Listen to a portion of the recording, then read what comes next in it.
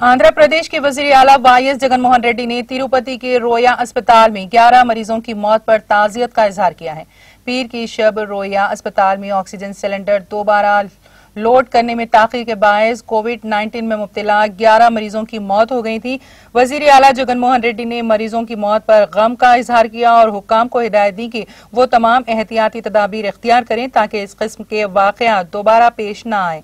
उन्होंने मुतासरीन के अहल खाना से ताजियत का इजहार किया। जगन मोहन रेड्डी ने मरीजों की मौत के वाक़े की तहकीकत का हुक्म दिया। उन्होंने अफसरान को जंगी सतह पर इमदादी काम शुरू करने की भी हिदायत दी।